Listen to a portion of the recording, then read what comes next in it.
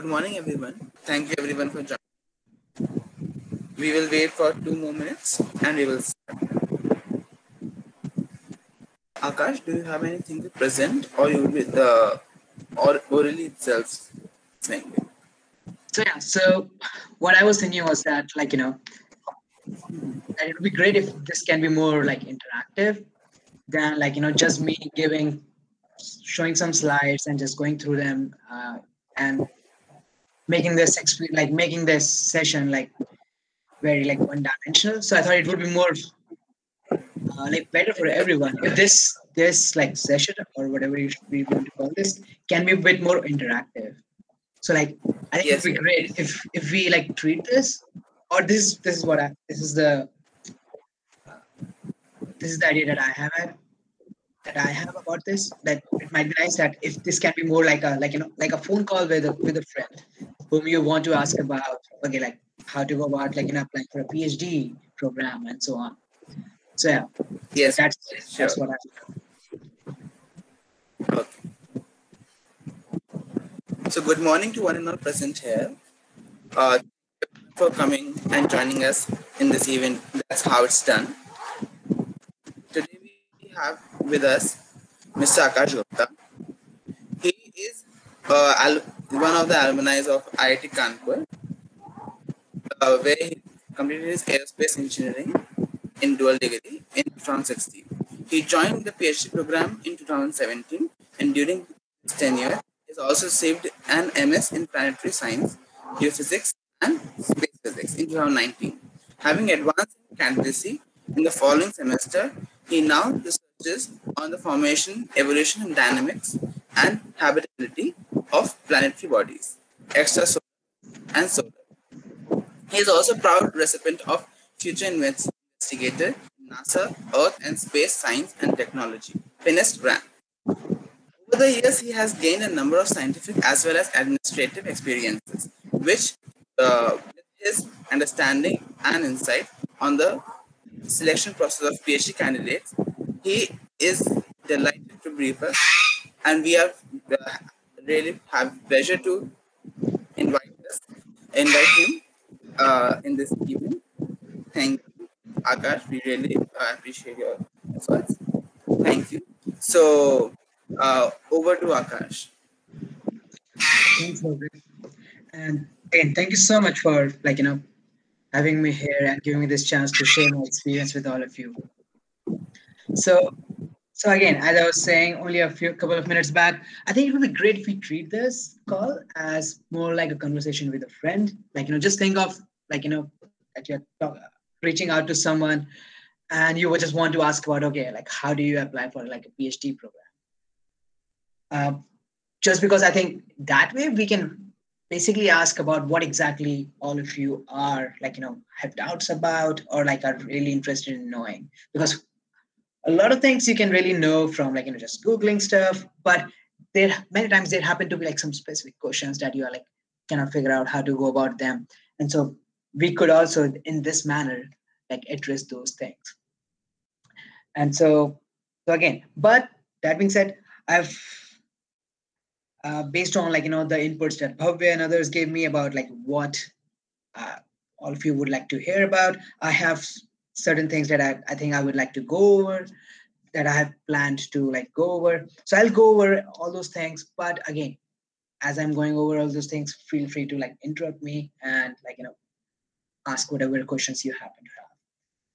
But before I begin with any of this,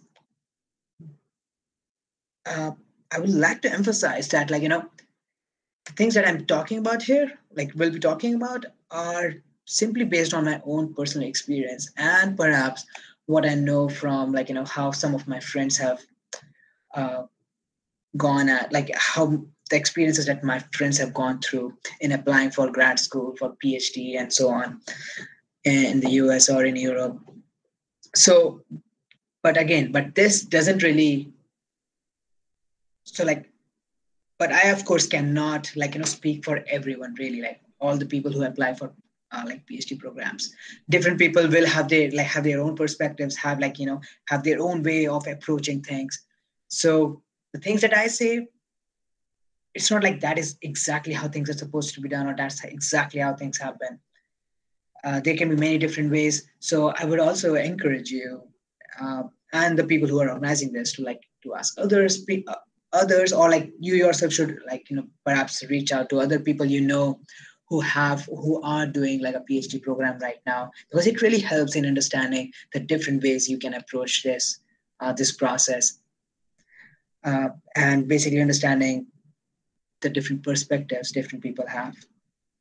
So anyway so and again like before i begin on to like you know uh, about like you know what an sop is supposed to be about or how do you go about a number of things connected to sop uh, something i would like to emphasize before is that okay now i do not know uh, so sorry so again so i'm perhaps forgetting forgetting this. So is this supposed to be about like the phd program? Like applying for phd programs or just like graduate programs later on?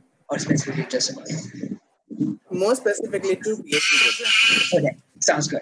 So so yeah so for the phd program so like you know the phd programs are typically like a multi-year like commitment you will be committing for like five like four, five, six years. Like typically it's like five years. So you'll be committing for a really, really long time if you decide to go for a PhD program. So you really need to like, you know, ask yourself, is this really something you're interested in? So now I'm not trying to like, you know, discourage any of you uh, from pursuing PhD. I'm doing that right now and I enjoy the, uh, like, you know, doing, working on a PhD.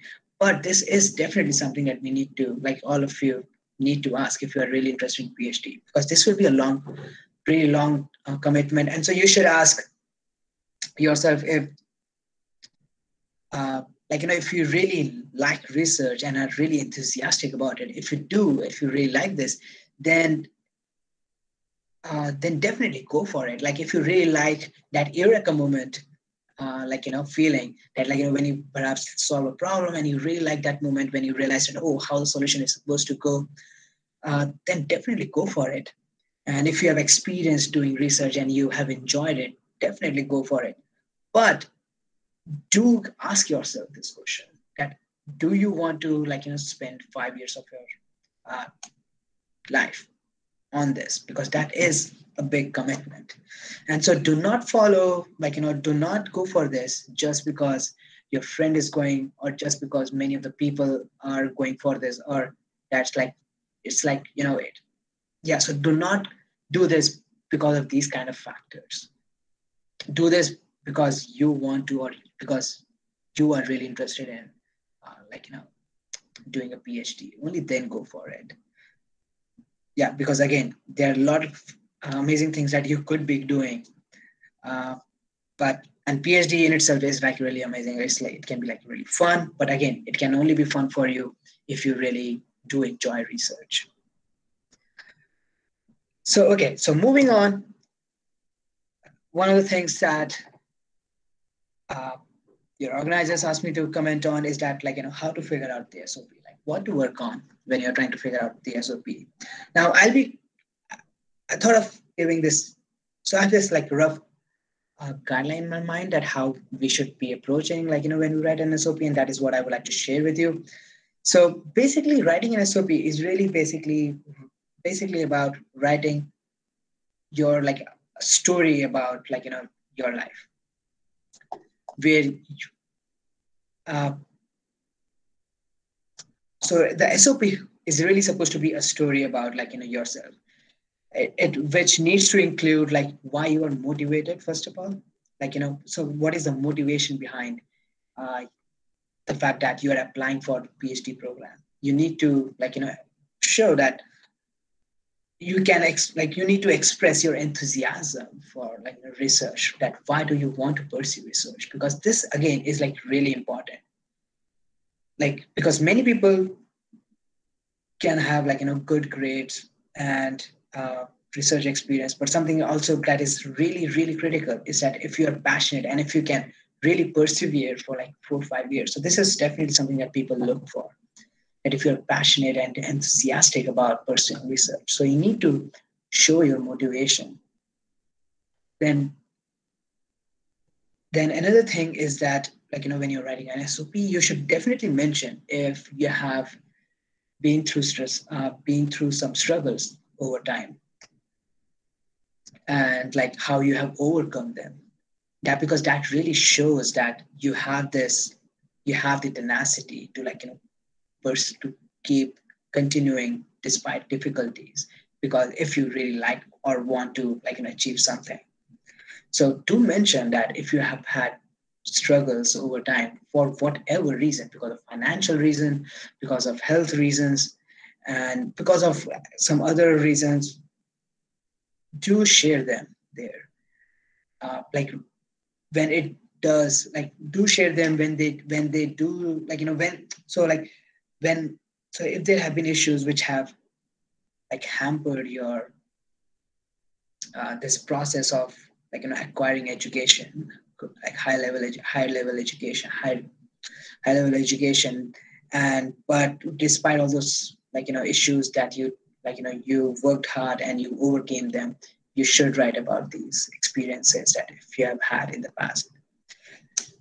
But again but the most important thing about uh, about like you know applying for a phd program uh, is going to be your grades and your research experience. Those two are like the most important things. So make sure that your grades are good. Like if you are like you know still in your like first year of grad school master's program or you, you are still in your undergrad. So make sure that your grades are good. But along with that also try to acquire research experience because that is also really important because that will really show the person who is reading your SOP that you know what you're getting into. And it also, and one of the best things that you can do is get a paper out if possible. If you cannot, it's okay.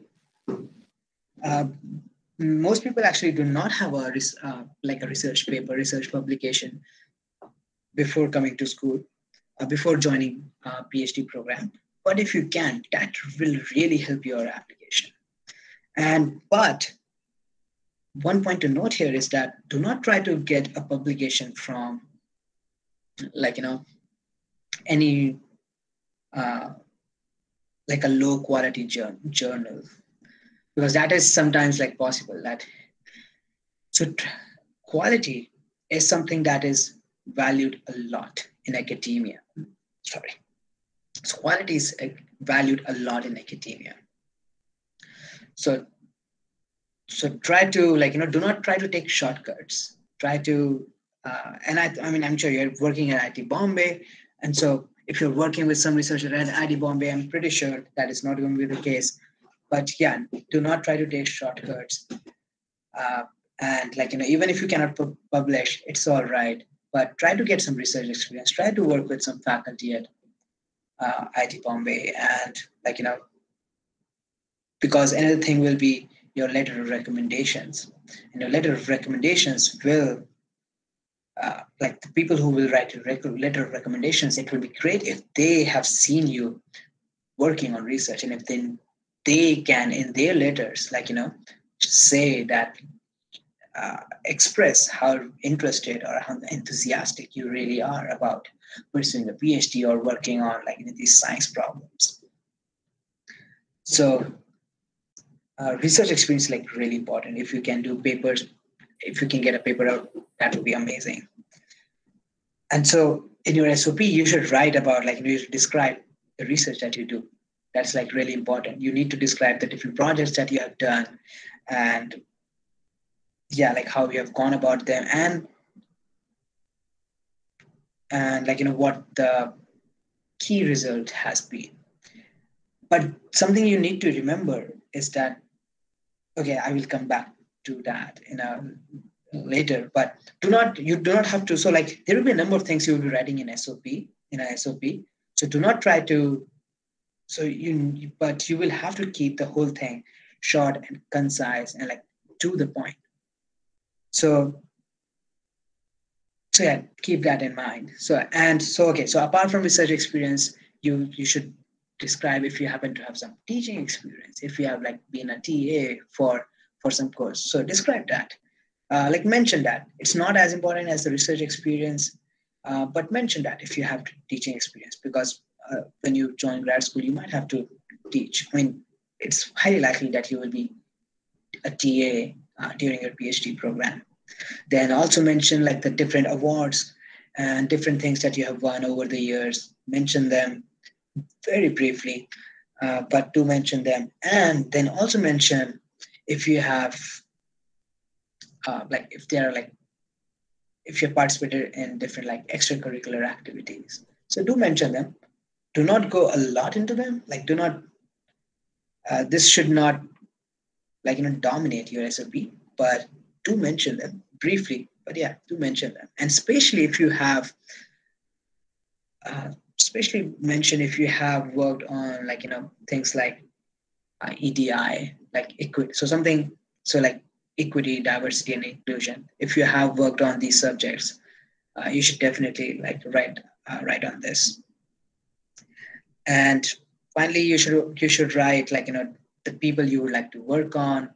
Uh, because like for each university you will be writing a different sop so at the end i think you should always write the different things you have uh, worked on and why. Sorry, sorry, sorry. Uh, I, I misspoke there. So discuss like whom would you like to work with uh, at the university you're applying and why exactly you're applying there. Sorry, I misspoke there. So again, so when you write about your struggles, your motivation, your research and research experience, and then teaching experience, awards, and extracurriculars, this will basically like you know and like where you are applying why you're applying there with whom you would want whom you want to work with this will this will basically like you know once you have written all this stuff this will give you a general framework more or less. Because the last part you cannot you, and because this last part that you that i talked about that like you know discussing uh, whom you would like to work uh, work with and like why. So you can you will have to tweak that depending on like you know where you are applying. To different universities you have to like, tweak this uh, tweak this. But more or less you will not have to change all the like the uh, the initial things that i talked about. Motivation struggles research experience teaching experience awards uh, these kind of things. But when you're writing about all these things make sure that uh, do not try to write this uh, as a story as in try to like you know connect like that this happened and because of this this happened or like this is what motivated you and so you try to explore this and then this and then this. But again this is one way of going about it. You do not have to necessarily go at this but i think this is a good way of going about it. Because i think this is much better uh, than writing like passages which are completely like you know independent or writing in a manner which is a, like where each each uh, paragraph is like like you know very different from each other. So okay so what i'm trying to say is that when you're reading something like you know if let's say professor is reading your sop then make it so that they want to read it like you know continue reading it so, like if you read a storybook, like a novel or something, uh, it's always more engaging when, like you know, uh, like oh, sorry. So what I'm so like a novel is more engaging uh, if it's if it's like you know if it flows logically or like if different paragraphs are connected with each other if someone just gives you like disconnected pieces of information well it is just going to be a disconnected uh, an article with disconnected pieces of information and it is not going to be as interesting uh, if it like you know flows very smoothly because that will make sure that the reader is like you know engaged which is important. And so again uh, and while during all the, during the story you will have to make sure that you express your enthusiasm why you're interested in this. And another important thing is that keep this short and like you know to the point because there's always like a word limit or character limit for these SOPs or like personal statements, whatever they are called.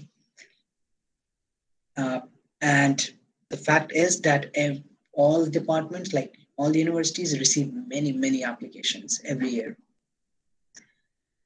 And so that is why you do not want to, like, you know, uh, over express yourself or i think that's not the right word but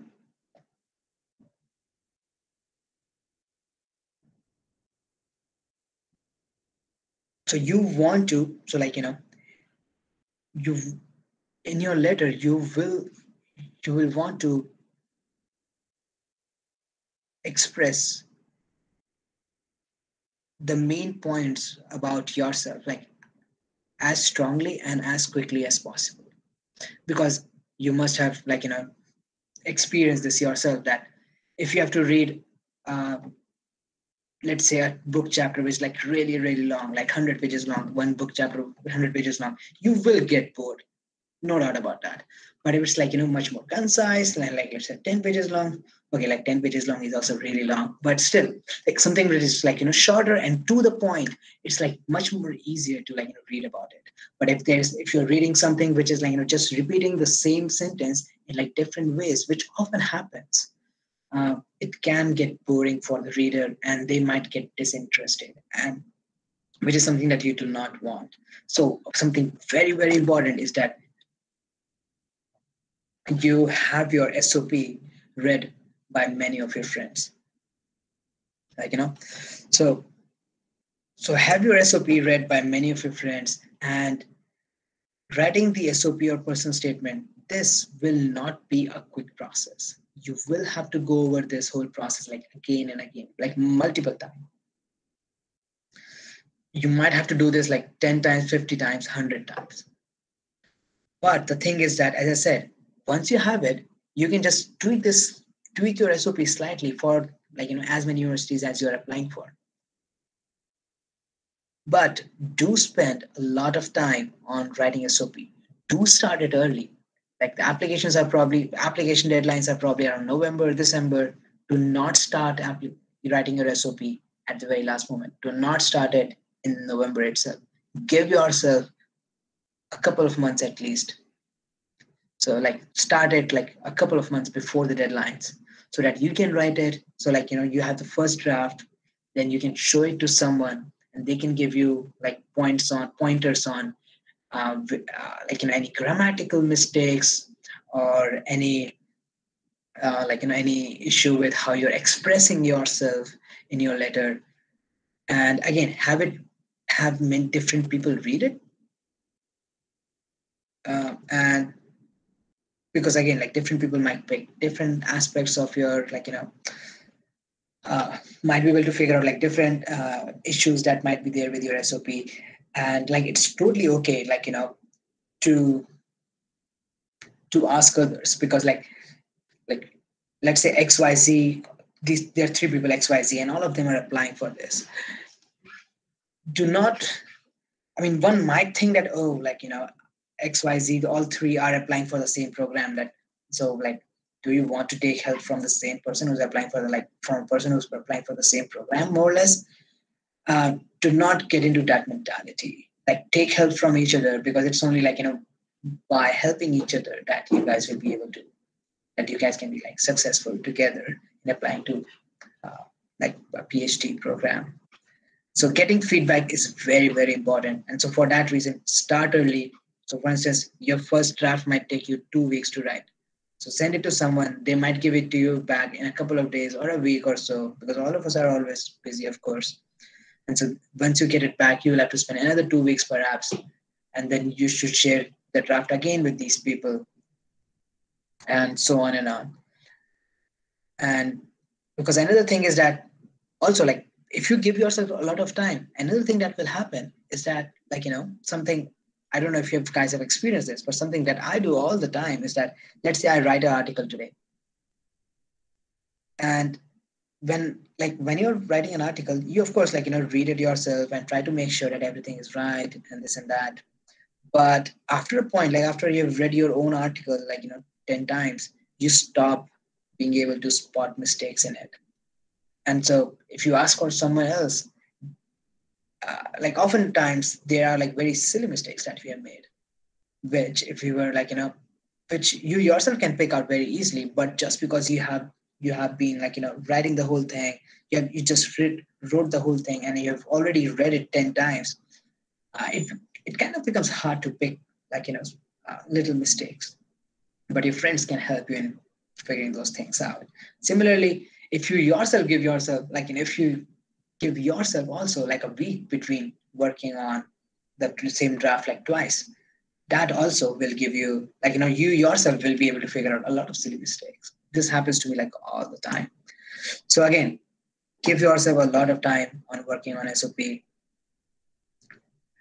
and all right so another thing i think uh, they wanted to, me to talk about is yeah Akash. actually there are many questions uh, popping up and uh, many of the things you have already answered while you were uh, telling us about so uh, in brief uh, like first question that has come up many times is what are the things one must be careful to not to write in an SOP?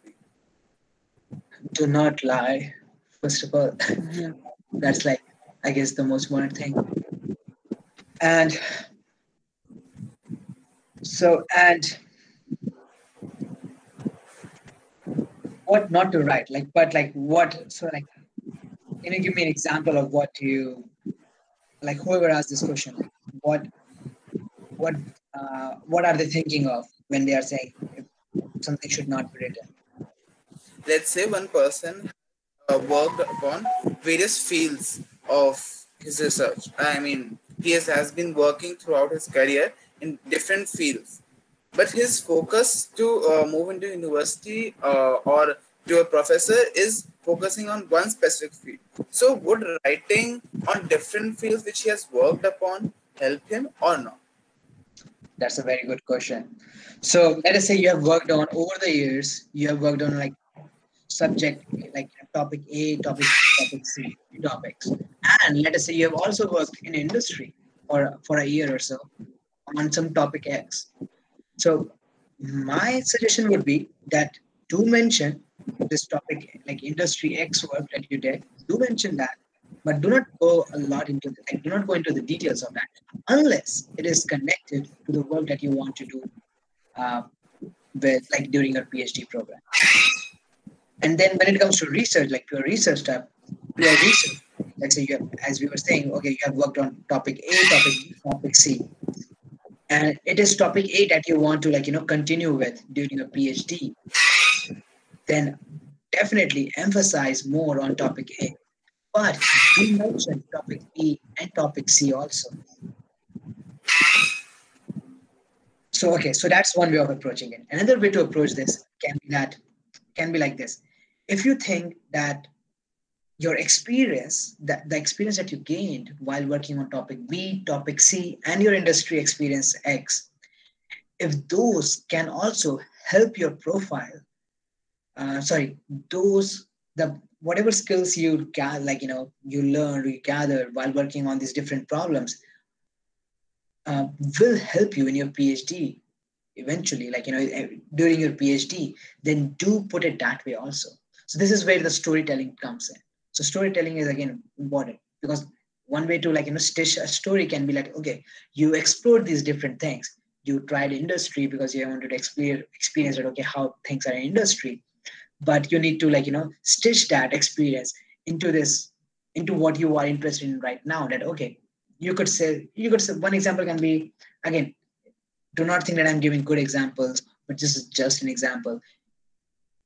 Like you know approach this the way you think would be best uh, or also talk to other people but okay so one way could be that okay you wanted to experience different things so you tried out industry but then you realized oh but research is something that is what you were really interested in. So you came back, you you like you know you did the masters and you really ex- uh, got more experience in research, and now you want to like you know further this and go to uh, for PhD. But while writing all that, you can also say that well, that being said, I did uh, acquire like you know this and this skill while working and something uh, and that can help me in uh, pursuing like you know whatever PhD projects or like that those skills that I acquired while working in industry, let's say, can be can benefit me in uh, in so and so PhD problem uh, in so and so in working on so and so like research problems. uh, the kind of problems that I'm interested in working on with this and this professor. Similarly, if you worked on like uh, problems B and C, you can connect them also that, oh, doing while working on problem B, you learned this. While, while working on uh, research topic B, you, you learned this and this. So for instance, let's say you learn very basic example, very crude example is that, okay, while working on prob research topic B, you uh, learned Python. So you can mention that, well, this is a, skill that I acquired and it will help me. Again, this is a very crude example that I'm giving right now that perhaps many people can understand. Uh, but yeah, you can like, you know, say these kind of things. Or maybe you, uh, during while working on problem P, you acquired some machine learning skills. And so then you can say that, okay, I, uh, so all this, uh, these like you know, these some of some of these like machine learning fundamentals that you learned during while working on research topic B is something that you could apply for furthering work in uh, the field that you are interested in. Because there are these upcoming methods that are upcoming machine learning methods that are being applied to your field of interest. But and this is something that you can bring into your like you know the research group that you are trying to apply to uh, so things like this, try to connect things. Uh, uh, yeah, so you have some uh, time on things. Yeah. Uh, actually, uh, many people I wanted to ask question, but uh, I just want to say to, to the audience, if they want to ask questions, they can raise their hands, and they are messaging also. So, uh, Debajyoti Bhakta is asking, as all universities ask for minimum two LOR, I take my first LOR from my MTech supervisor. Can the second uh, one be from a BTech supervisor, or it should be specifically from a uh, MTech professor?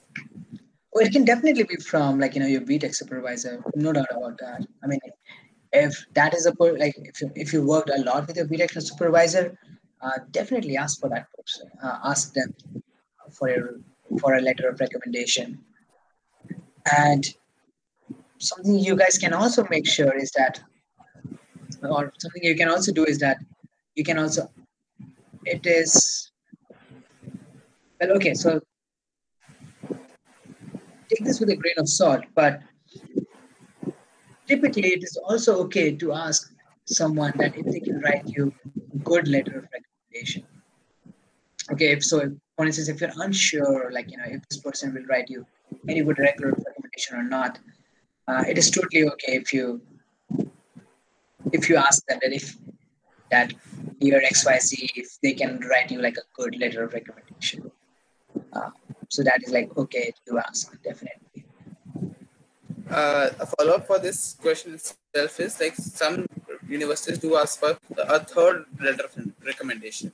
So whom uh, could be probable third person to ask for?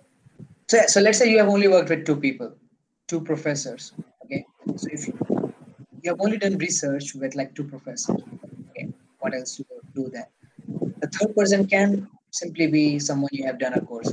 So you did a course with someone and you interacted with them a lot during the course during, during the course so you can reach them because perhaps by interacting a lot and by getting a good grade in that course, you were able to like, you know, develop some rapport with that person. So you can reach out to them and ask for a letter of recommendation. It is okay if you did not end up like interacting with uh, the instructor a lot. But if you did do very well in that particular course, then again, you can reach out to this person for a letter of recommendation. Okay. Uh, there's one question from Abdul Kader Puniwala. Uh, he's asking there's full-time teaching experience of about uh, five years because uh, he has done it would help in this uh, sop like mentioning it would help yeah i'm pretty sure this will help you and so like you can like you know dis- discuss in your sop that uh, like what kind of t- teaching experience this was so you can like you know tie this into your like uh, what you are interested in right now. Oh, sorry. Okay, so I did not put that. Uh, so again, so do describe. So like because that seems like a substantial amount of teaching experience. So definitely discuss that. and like you know and maybe you are interested maybe teaching is something that you are inherently interested in or like this is something you have been interested in for a while so mention this like you know as part of your motivation also that like you know you are interested in doing phd and ultimately one of the things that you're really interested in is like mentoring students and like you know teaching them in the coming years apart from like continuing to do research. And you can say something like you know that being able like getting phd and the experience that you gain through phd will help you in in being uh, and like whatever professional development that you will go through during that will help you in uh, becoming a better teacher better mentor to like future generations or something along those lines. But yeah definitely mention that no doubt it's hard to quantify how much which can help but yeah definitely should definitely Okay. So uh, the next question is coming from Pritha Ash-. Uh, she is asking, is MPhil necessary for PhD? Are there any benefits of doing MPhil? uh, I'm assuming so like uh, for the US, technically there is no like you do not need a master's. Before that, you do not. If you're getting one, I mean that's good. You you you can use that time to like gain research experience or to just expand your like you know the different subjects you know about. Uh, so you can use that, but you do not need it. It's not necessary. That being said, in Europe, you do need a master's to pursue a PhD. In Europe, it is different uh, than in, in the US. In US, you do not need it, but in the US, the PhDs, regardless of if you have a master's or not, are for like five years. And in Europe, they are for three to four years, but you do need a master's to apply for a PhD program in Europe. Uh, the next question is coming from Wade. He's asking, uh, does a LOR from an industrial supervisor count? Uh, yeah, so I do know friends who have done that. So I myself do not have any industry experience. So, so I'm not saying this from like you know from my personal experience, but I do know friends who have done this because again, like you know, what you're trying to, what letter recommendations are trying to do is they're trying to establish like credibility for you if you are like you know a good student someone who works hard these kind of things. So that is what these letter letter of recommendations are for. So yeah i think that can count. But i think it would be preferable if you get some research experience work with some faculty and ask letters from them. And let's say but let's say you have to write but if you think like this industrial supervisor can give you like a very good recommendation and they themselves have like a good reputation let's say in the industry um, then yes to ask for definitely ask uh, them also letter of recommendation Okay. Uh, so next question is coming from uh, YouTube. They're asking that uh, how to choose a university or a college, and uh, for the specific college, how to like what is the main point that would make an SOP strong? sorry uh, so that's not here right not in the in call messages list. so that's an, sorry can you repeat Yeah, the message that- yeah Uh, okay, sorry Uh, the, yeah, the question is how one should choose uh, between different universities if the topic or the research field working there in the university is same. And other point is uh, how should one make a SOP stronger for that university?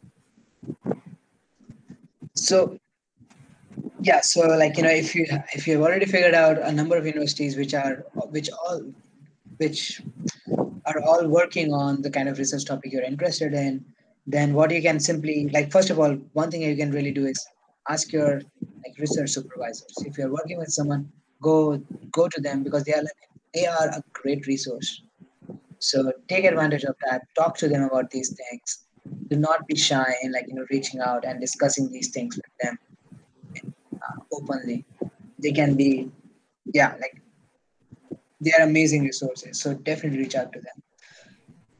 Otherwise, what you can also do is that you could also simply go with like you know you can try to figure out if like so so first of all for a phd what the thing that matters the most is your advisor like the reputation of your advisor. That's that is what matters the most.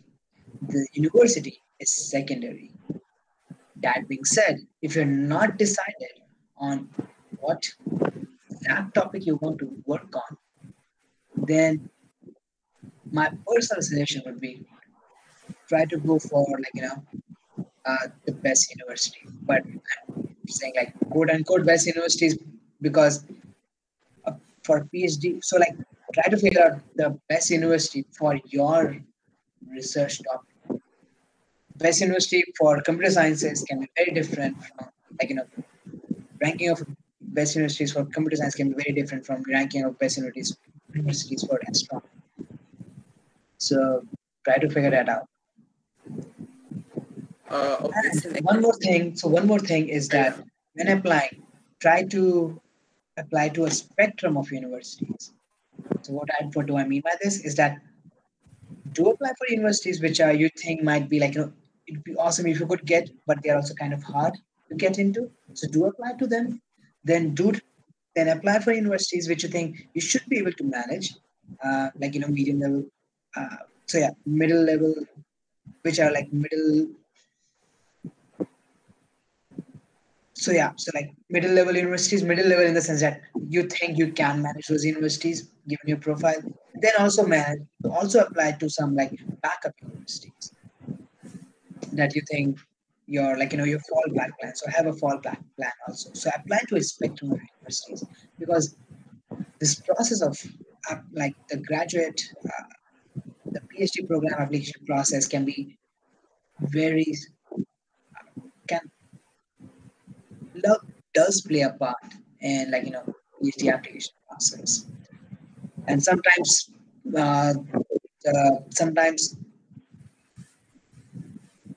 the committee which is deciding, which is trying to decide who to pick or not, have to deal with like you know very very tough choices, and so so for that reason, like you know.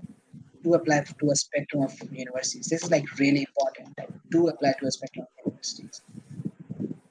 But yeah, okay. So Uh, okay, so next question is from Abdul. He's asking, uh, and first of all, thanking for the answering the previous question, one of his questions.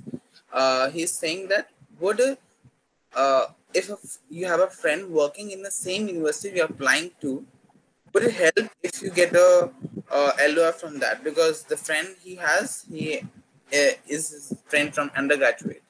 no, you you cannot. So if that yeah, so mm, this is something you cannot do. You need to ask for like a recommendation from uh, like a professor or your like you know your, your advisor who has been your advisor. Uh, be it a professor, an industry supervisor is still okay, but not from a friend.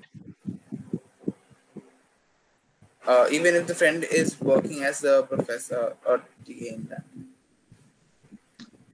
Even if the person is working as a professor you should not be asking them. Because that person cannot comment on your cannot comment on your capacity as a researcher because they have not mentored you. Uh, because here you are asked the universities are asking for for letter letter which can describe your research potential or like your your research experience or uh, how you have done in courses and these kind of things. So, so yeah. So I don't think Okay. I could be wrong about this, but uh, to the best of my friend. Uh, not audible. Okay, I mean.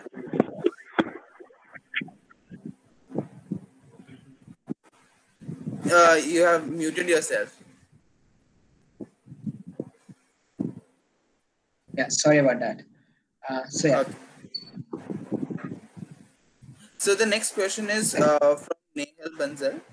Uh, he's asking, how would you contrast, like, what is the differences between Europe and US specifically uh, for SOPs?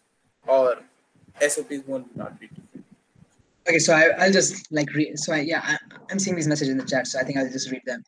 So okay, so Neil is saying, could you contrast PhD in Europe versus in the US? So the main difference is that PhDs in the US are for five years, PhD in the Europe are for three years.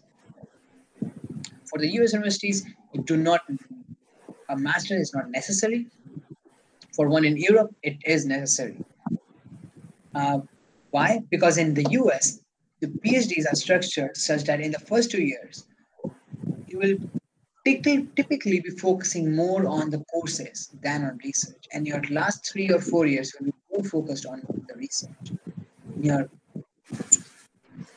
uh, I mean, in the first two years also you will be doing research, but it will be you will be doing a lot of courses also.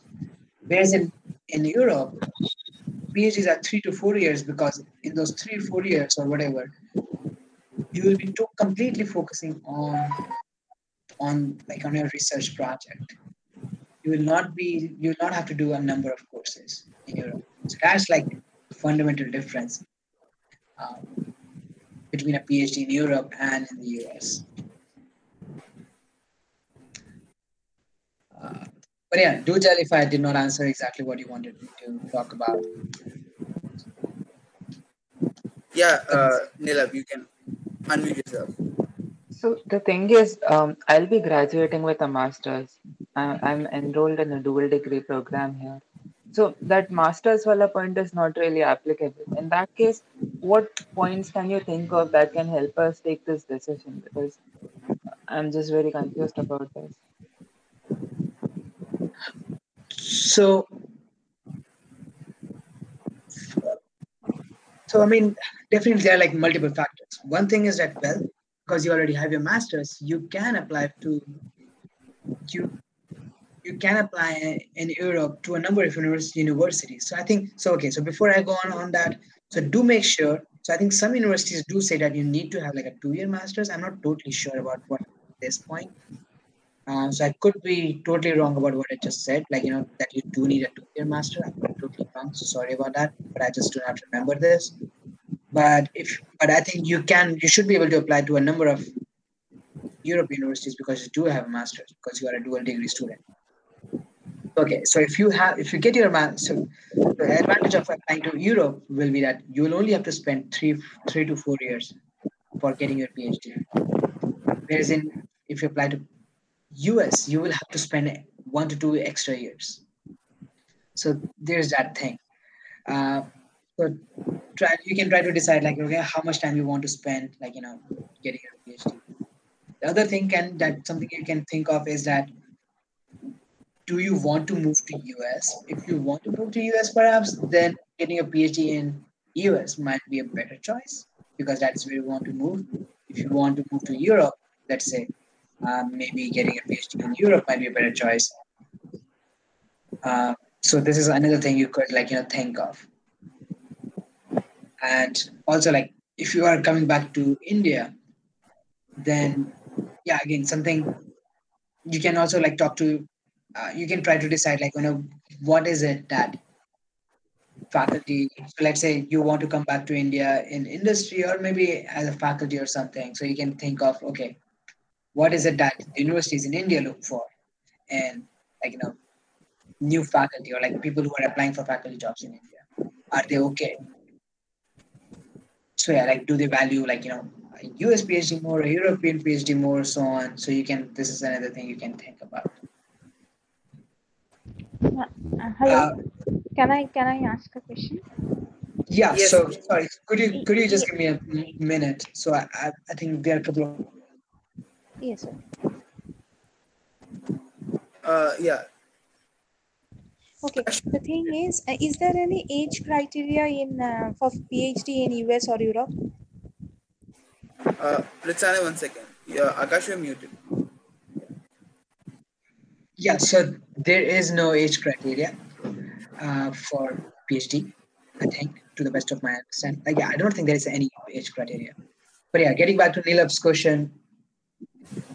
So what else you can so like so okay, so these are like but still like the things that I just talked about, the, the two factors at least that are coming to that I described that that were just coming to my mind right now, they should be secondary to a degree. The primary thing that you should take into account is like you know, what are you interested in working on, and if there's someone, some particular person you might be interested in working with.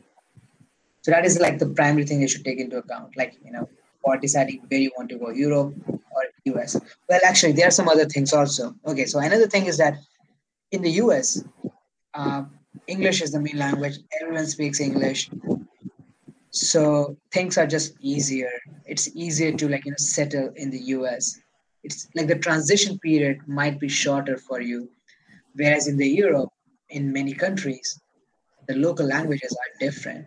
So that it, it you might have to put in a bit more effort to to settle in in a in a European country. But this is not necessarily like you know. But then again, like experiences can be different. The work culture is different in the US in the versus Europe. So so there are multiple a number of things that you uh, might want to think about. Uh, other than that,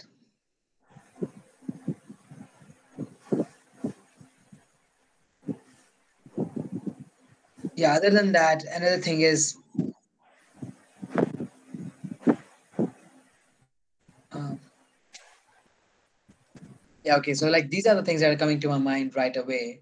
I'm sure there are other things also that one one can think about when applying like when trying to decide europe versus us but yeah uh, yeah these are the things i think that are coming to my mind right away.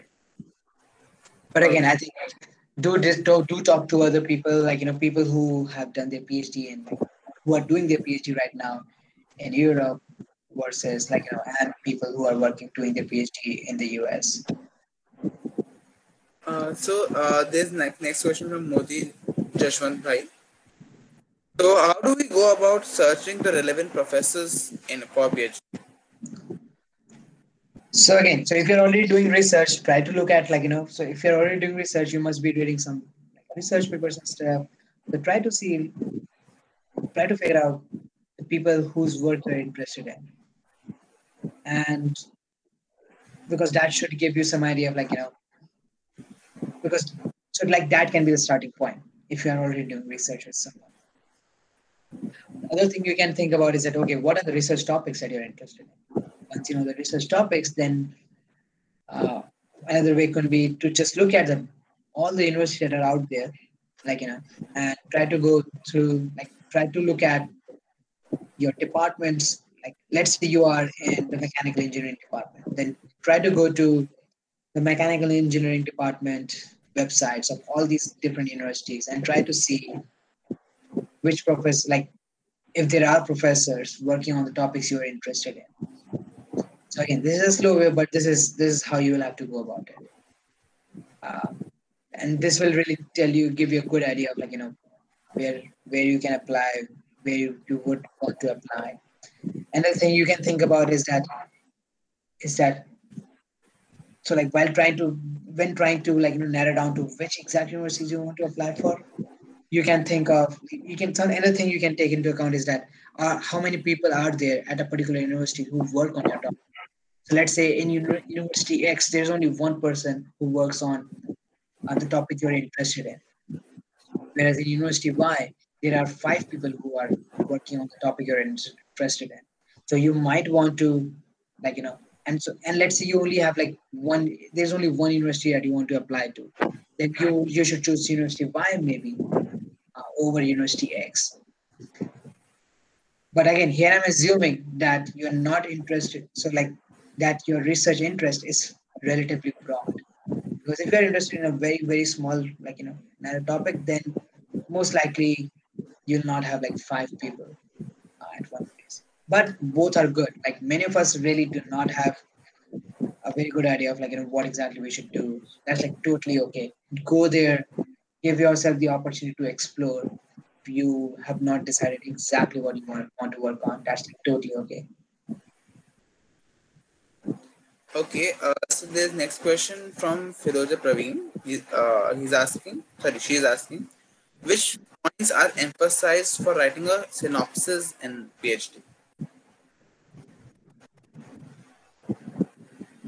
Uh, synopsis in PhD? You mean? Uh, Firoja, if you're here in the meet, can you unmute yourself and please explain a bit? I guess she's not here. So moving to the next question. Uh, I guess uh, the question from Pritha Ashray is not much relevant because uh, she's talking about PhD in West Bengal. So, but the thing is, we are talking about foreign university right now. Uh, uh, is asking, is cold emailing professors acceptable before applying that university? Like asking for what uh, are you working on and all those things, professors. So, I mean, if you if you want to know what that particular professor is working on, you should go to their website and you should not be emailing them to ask about that. Go to their, most of the people have a website. If you cannot find their websites, you can go to, I think IITs have access to Scopus, S C O P U S. So go there, search for the professor's like you know name, and look at their research papers to figure out what to work on. So if that is something that is all that you are interested in, go to like you know, these places or Google Scholar and try to figure out what will work on. If you want to know, but so so yeah, I don't think you should cold email. Definitely do not uh, do mass emails to professors. Definitely do not do that. That is the last thing you would want to work out. Uh, you would want to do. Do not mass emails professors. But one case, in one case where you could email professors uh, is to to reach out. So like you can definitely reach out to people to ask if they will be taking PhD students in the coming year. Because the fact is that like you know it is pretty expensive when you're applying to different universities. So it I think it's totally okay if you want to ask. Uh, so let us say at some university X there is there are like two people or like let's say one person who who you might want to work you might want to work with but uh, and like you're really interested in working with that one person so you definitely want to apply to that place even though you there's only one person you are interested in working but if that person is not going to be taking new students uh, then like you know it will be waste of your money to apply to that university. So to just make sure that like you know something like this doesn't happen you can email professors. But it often happens that they will not reply because they are like very busy or because they get like many emails from many students or like many emails in general so so do not feel down like you know if you do not receive a reply for them because believe me uh, professors get many emails from so many people. So it's like and yeah so like do not feel like you know uh, disappointed or discouraged if you do not hear back from them. Uh, yeah so so yeah but that is if you are emailing for that reason i think that's totally acceptable. But again keep it keep your email short and concise. Do not yeah do not write a very long email. So okay so i'll just go over these other questions. Okay, so Apurva Sthana is asking, can I get into a PhD program just by talking to that specific professor with whom I want to work? Uh, so like, yeah, I'm assuming you're trying to say you, if you do not have to apply, go through the application process or like write an SOP. If that is what you mean, then for the US universities, no. For the US, US universities, typically, I mean, you do have to do like, you know, go through the whole procedure in some cases however in like very very like rare cases uh, a faculty might decide that they do want to get uh, take you and it might be like you know but in even in that case you will have to write sop and everything. But that happens in very very rare cases. In europe however it is different. Also sorry so also in the in the us uh, the application process is uh, like the department, it is typically the whole department that decides which student to take in. So typically, it is not your professor, like the person you want to work with, that is going to decide if uh, if the department wants to take you in. Typically, that is not how it is. So, so, so for that reason, it doesn't matter if there's one person who- who's like really interested because it is a department which will have to take you in as a student or not. So for that reason, US typically you have to like you know do the whole process. In the Europe, Europe it, this can depend from university to university. In many places, it is the professor who decides if they want to take you in or not. And once the professor is ready, uh, like you know, has decided that they want to take you in, uh, beyond that, it's like a straightforward process uh, to get the admission letter. Uh, but again, this depends on place to place. So, for instance, one of my friends got into EPFL, which is in uh, Switzerland, and for his admission, it was really his interview with the professor that mattered. So, in Europe, this is so this is a one way in which things are a bit different. It is the professor which decides they want to get you in, like take you as a student or not, and not the department. But again, this again in Europe can depend from university to university. But yeah, in many places it is more professor centric, the admission process. So okay, so the next question is how much weightage is for the transcript as compared to the research experience? I don't think I can anyone can quantify that. Both are important. Um, both are very important. But research experience is definitely something that can outweigh even if you if you happen to have like you know uh, relatively poorer grades uh, good research experience can outweigh uh, like relatively poorer grades so there's that. So yeah. So that's what i think i can say on that part. So other than then can yeah you know yeah uh, asks other than research relevant work experience like industrial experience is industrial experience is sorry other than relevant research relevant work experience like industrial experience is worth to have for phd so i'm assuming here the question is that does it, having industrial experience help in getting a phd then yes and like in multiple ways i think i'm, I'm assuming that that's what is being asked here. Then i think please correct me if that's not the case. So i think it can help in different ways definitely but i i would not say that like you know that will give you more advantage. Uh, that will have so i think an industrial experience can help you in in like different ways as in like it can make you like you know it can it can give you a different set of skills and you can it can give you more experience in like or like you know it can give you it can train you more in achieving deadlines in like a set manner which is like something you do not gain when you are when you are always in school like when you are always in like when you have all, only been in college. You do not get that experience um, like experience of working on for like deadlines. And like other things like managing your own time. I think these are the these are the kind of skills that you really develop when you're in industry much more than probably when than you develop during your college time. So i think so there's that uh, could be helpful. Maybe is like you know if you are doing research in industry but more or less it is really the research component of things that really help you. Um, for your, in your application to phd but again experience in industry can teach you different tools and so all that can contribute. So i mean industrial experience can definitely contribute in your application to phd so yeah so i think that's what i think i can say in short about that. So the next question from Neha is that what are the requirements for doing a PhD in the US?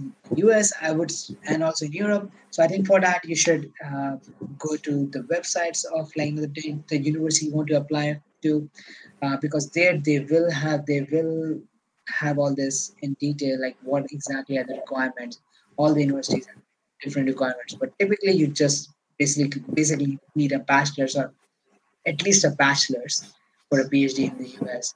And in Europe, it can depend again, but typically you need a master's to pursue a PhD in Europe. That's like more or less the requirement.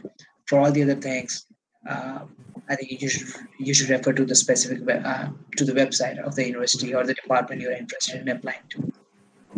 So, do another question is: Do journals accept manuscripts only if there is a professor as a co-author?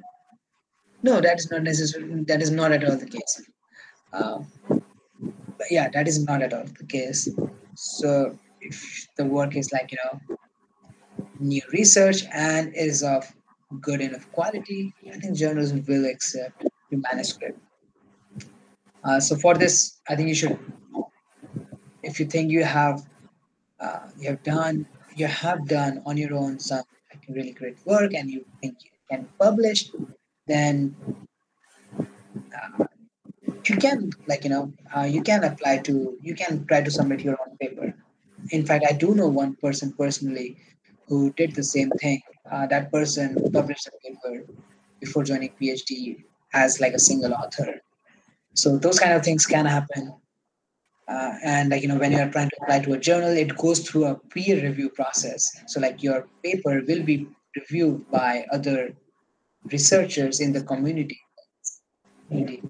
If they think it is worthy enough to be published, then it can be published. But working with a professor will give you like you know you will be able to use their experience and uh, and their knowledge. You'll be able to leverage that in writing your paper and in becoming a better researcher. And you will most importantly you will also get you will also have someone who can write you a letter of recommendation so okay so another question is do you get to choose your own supervisor in europe or is it assigned to you? So again this can depend like you know from place to place. In europe typically again this might not necessarily be the case but typically uh, you choose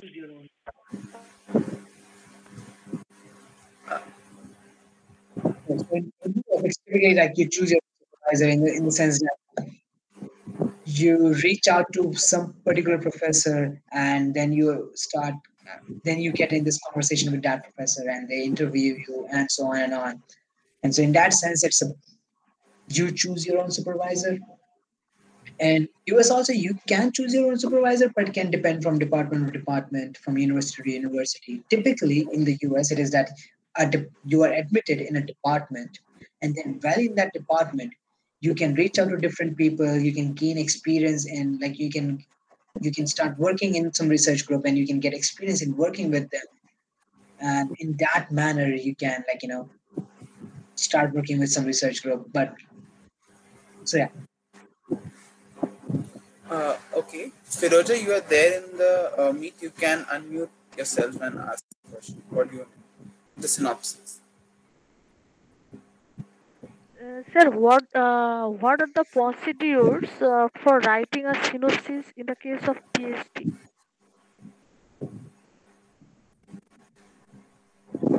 Uh, so synopsis, as in, are you talking about like a PhD thesis? Yes, sir. Yes, sir. So for a PhD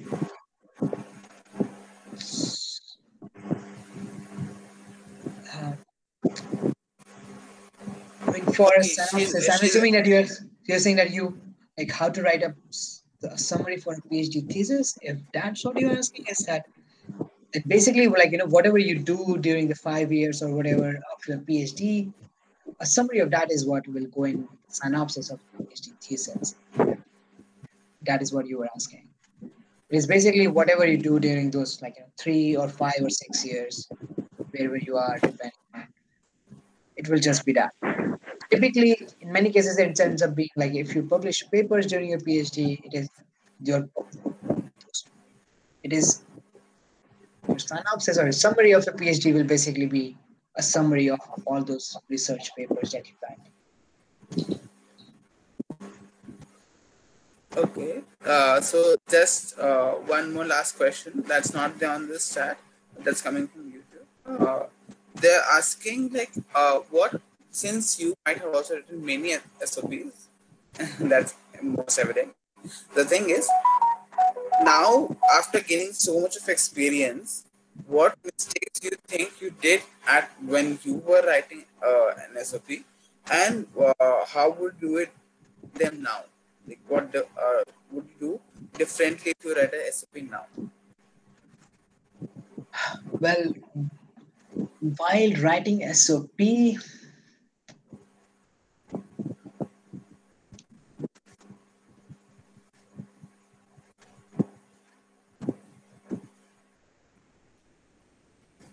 see the thing is that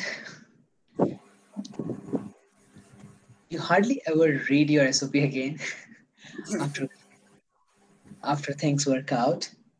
But to answer this way, uh, to answer this question in a somewhat different way, what I can say is that I think I should have like you know worked harder in my first two years of undergrad. So I did my undergrad in IIT Kanpur, but yeah, I think my first two years or so I didn't really do very well in my courses and stuff. So I should have like you know worked harder on those things. But I guess I was just a burnt out from JEE and stuff. So maybe that's something I should have done better. But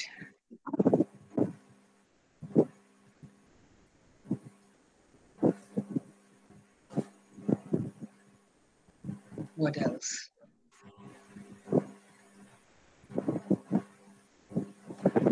I think uh, other the other thing can be that I should have tried to be more to the point in whatever I was like you know discussing in my SOP.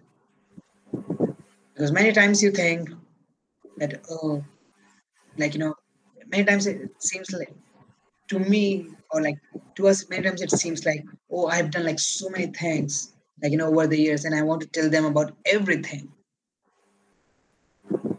that's like really good that like you know you are enthusiastic about like you know all-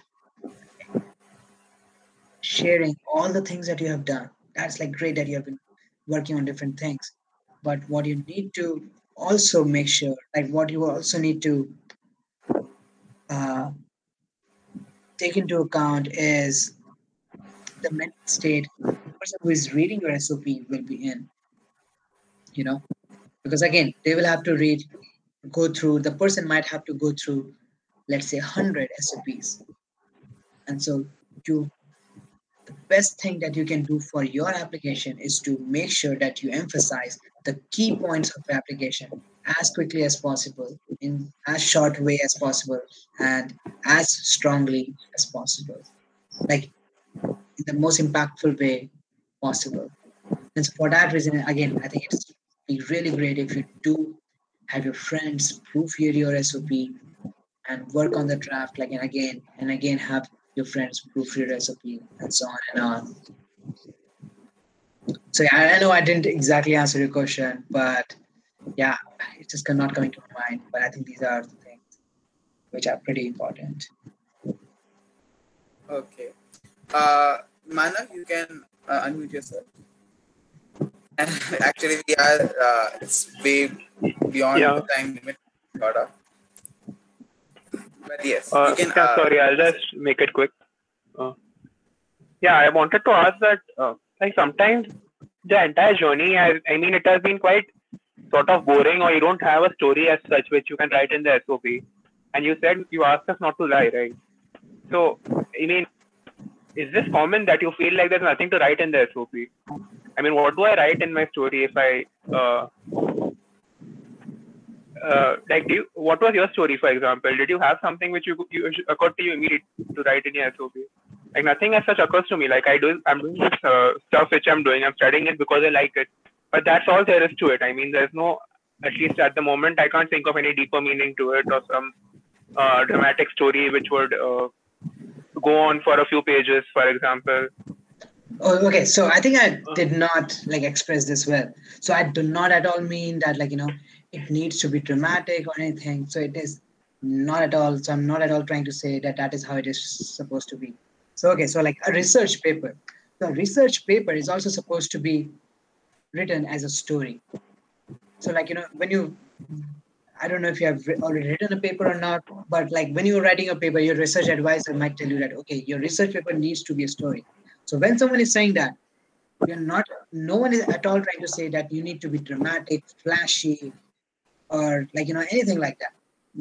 Not that is not at all what I'm trying to say. The main idea is that there should be a logical flow. That's the main idea. There should be a logical flow to your to your SOP, if possible. Okay. Okay, but And- isn't an SOP required to like catch someone's attention? I mean, sort of. Isn't that the point? I, I am I'm just correct me if wrong. That's what I've heard. I mean, yes and no. So, like, you do not. So again, so you. So uh, it is definitely supposed to catch someone's attention, and so for that reason, I was trying to say that uh, you should try to like you know emphasize the key things that you have done over the years, uh, your motivation if you have done like you have struggled with something, or like the research, uh, your emphasize your the research projects that you have worked on, the awards that you have won, or some other like extracurricular activities that you have engaged in. That la- that last part of it briefly, but so I mean so. And so it is supposed to like you know catch someone's attention because it's supposed to be the highlight of what you have done. It's supposed to be the this highlights reel of what you have done over the years. So in that sense, it is supposed to catch someone's attention. It's supposed to be typically typically it is only supposed to be a page to page and a half long. So it's not supposed to be longer than that. And so when you're writing But like sorry, how long is it supposed to be? Can you just repeat? Typically it is like one to two pages long, and that's it. Okay. So so that's why like when you actually write your SOP, what you will realize is that any research project, you cannot write it for longer than three or four lines, typically. I mean, depends on how many research projects you have done and this and that. But like for a rough, uh, yeah, so like roughly you'll you should be writing like three or four lines for a research project. Let's say if you've done a couple of research projects. But if you like if you have only done one research project, then yes, you can write for longer, of course. You can emphasize it more. But but yeah, so like it's supposed to catch someone's attention in the way that that SOP is supposed to be like a highlight reel of like you know how you have gone gone about doing things with but it that has to revolve around your the research that you have done or why you are interested in pursuing phd that is what it has to revolve around but but yeah.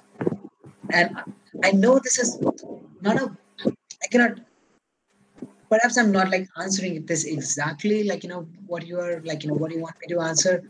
I'm not exactly answering what you really want me to uh, talk about.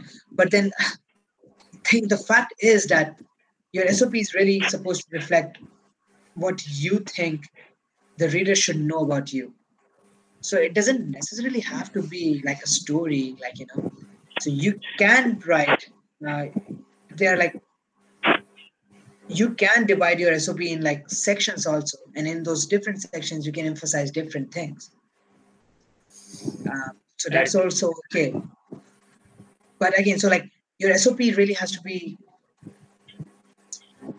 so yeah sorry if i'm not expressing this right uh, in the best way possible but how exactly your Just one more thing. like- So that's like any other essay. I mean, the toughest thing. Sorry, please go on. go on Okay, yeah, I'm saying that just like any other essay which we have uh, tried to write, I mean, the toughest thing must be how to start, right? So, what is your opinion on how one should start an SOP? Does it start with a bland introduction that this is my name, I'm from here, so on, or uh, does it start with something else? Like, uh, what's your opinion on that from what you've seen? Uh, so like okay, so like if you, if you are confused about this part, then I would encourage you to uh, like you know have a look at the SOP of SOPs of people who are already in graduate school or graduated in the past. And I think you should be able to find this. In some cases, you should be able to find like examples of SOPs like online if you just Google this. In some cases, you can like you know perhaps reach out to people you know and ask for their SOPs and see like how they approach this. Okay, fine. Uh, yeah, thanks. But yeah, it doesn't. It it it it is not supposed to be. It is not like you're not supposed to go about it as like you know this is my name and so and so. uh, but you can maybe start it as like you know to talk you can start it uh, as in you can talk about like what you are interested in and why you want to do your phd this is something you can start with. And from there you can go on and talk about the things that you're interested in. And or like you know if you have uh, yeah like the things the different topics that uh, sorry. So from there you can go on or go on and talk about uh, the research experience that you have gained over the years. And along with that uh, if there are if there have been any struggles perhaps that you have had over the years or the topic that you're interested interested in and why is it that you are interested in that? You can expand a bit on these things like in the following paragraphs. In the first paragraph you can just give like a summary of what you're interested in and why you're interested in it. Uh, but again this is just one example. There are many different ways you can go about it. So again for that i think a great thing would be to reach out to people uh, and ask for perhaps for their uh, sop Okay. Yeah, thanks your help. Uh, so right now, uh, actually, if we stop, like actually, uh, continue the questions will be going on because it's a very vast topic to debate and talk about.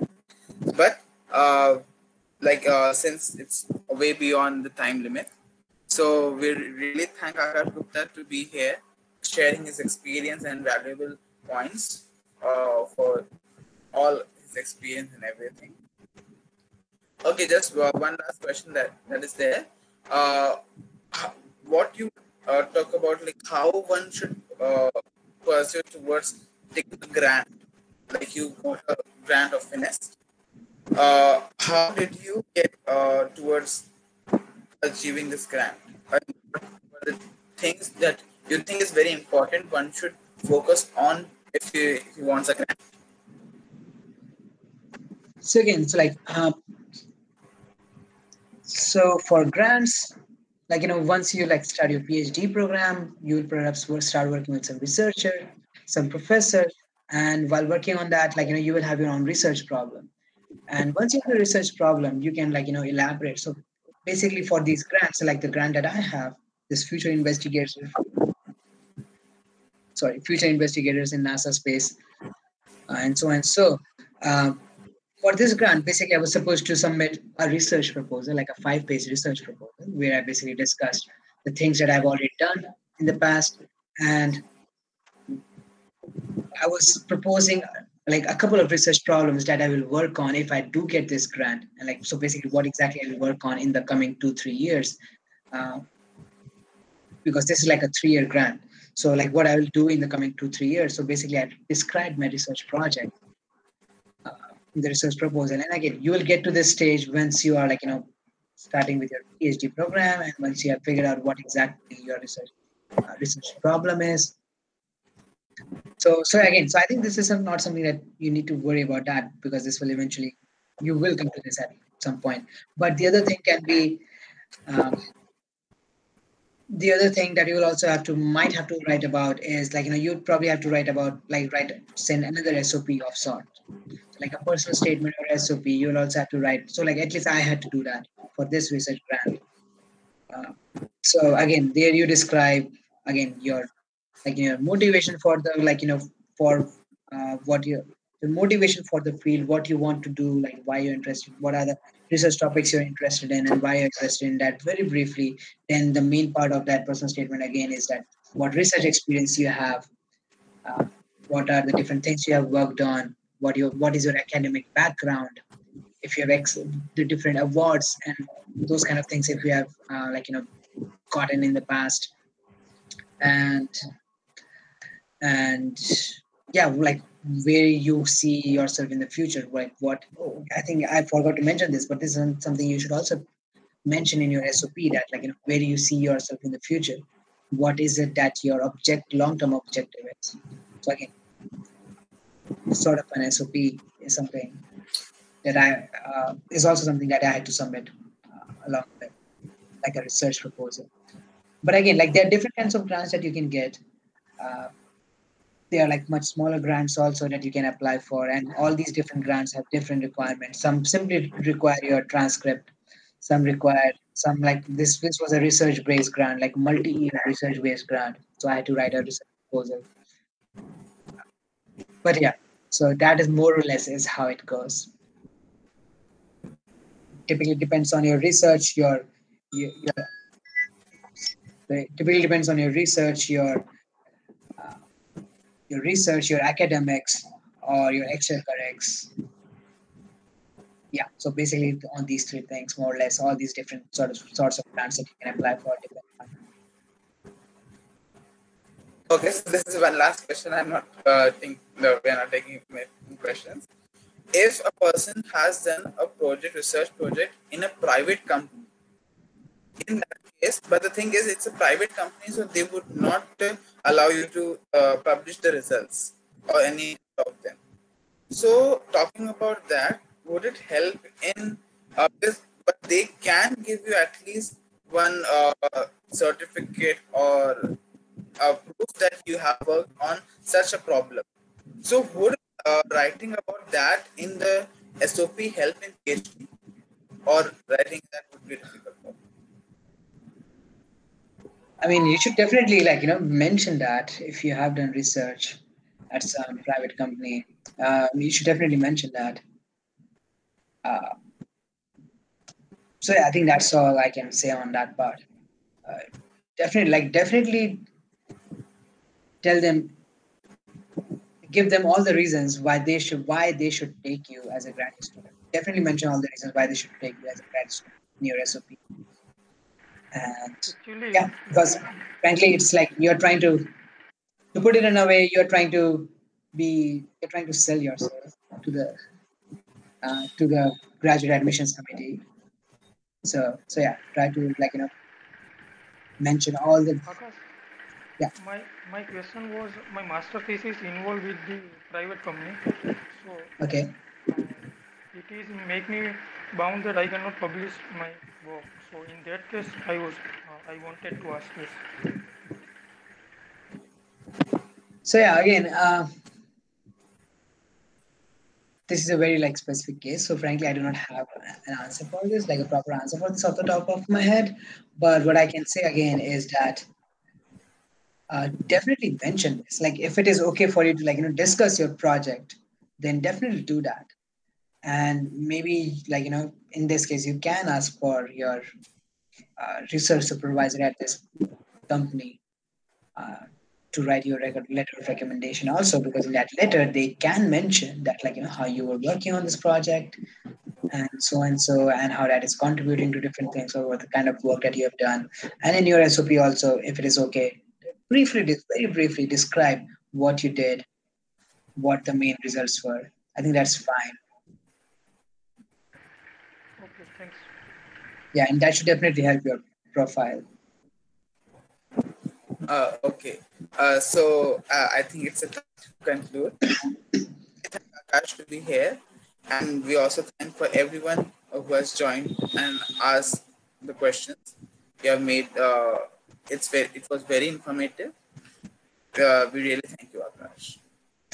no problem and yeah best luck best of luck uh, hope you guys do great in your application process yeah good luck thanks for having me thanks for giving me the chance to share my experience with all of you It was Yeah. a really informative.